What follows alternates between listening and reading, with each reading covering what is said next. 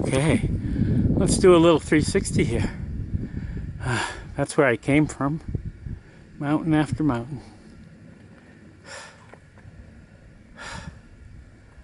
Beautiful. And up ahead, that's where I'm going. Can you see that hiker up there? It's called Silver Pass. Gonna get me to the next side. And then all the way around.